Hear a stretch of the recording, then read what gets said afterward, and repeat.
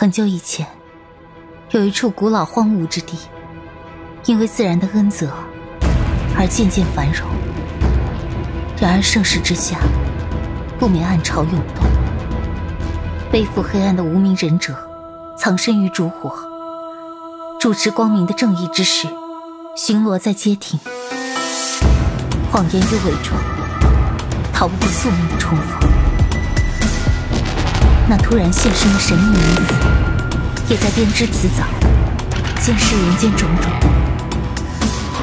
等等，再等一等，等到樱花凋落，约定的故事才要发生。